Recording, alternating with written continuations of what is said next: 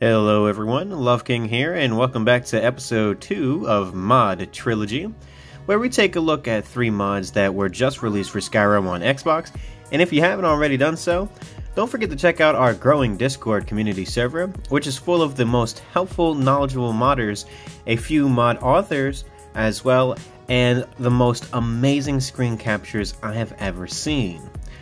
Now with that being said, let's get straight into the video. If you were ever looking for a really good fantasy setup and didn't want to piecemeal them together with mod A plus mod B and C, then look no further as we will be taking a look at Through the Looking Glass Flora by JarlBallin. I'm currently running the Flora version as it combines both the tree versions and the grass plant version as well and together they come out to be a whopping 198.3 megabytes, which if you ask me, is still a great deal for the visual quality this mod produces. You will really get the best of both worlds when using this mod as it gives off a really cool Alice in Wonderland look and feel with a pinch of Shivering Isles vibe from Oblivion. Truly, this is an amazing Fantasy Flora overhaul that I'm really impressed with, and I believe you all should give this mod a try and install it for yourselves.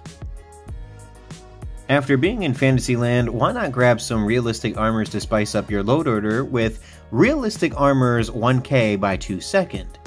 What I love most about these armors is the changes it made to the fur armors.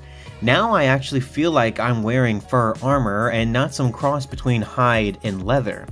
I also love the mercenary armor as well, as I'm always playing a spell sword class, and we are well known for being mercenaries for hire. It doesn't take but two seconds to realize how great these armors look and feel, and that's why I highly recommend downloading this mod and giving it a try for yourselves. Okay, so we just picked up some really warm fur armor, and that only took us about two seconds to do. So we're going to need it for the Wintertime by Alaan. Wintertime by Alaan is a really amazing mod because it does something I've never seen before. It layers all of Skyrim in a big blanket of snow. Now, you can combine this with Climates of Tamriel's Winter Edition, along with SFO Definitive Edition with Snowy Trees add-on, and you will be in for a Winter Wonderland takeover. Wintertime by Alaan really makes Skyrim into what I thought lore-wise should have been. In fact, if you take a look at Daggerfall or Arena, Skyrim is known for being a snowy, land-filled area. This is what you get with this mod, and I highly recommend giving this mod a try for yourselves, and pairing this with another snow mod as well, because this mod will also use whatever snow texture you are using. Alright, that's going to be it for me today. I really hope you all enjoyed today's Mod Trilogy episode.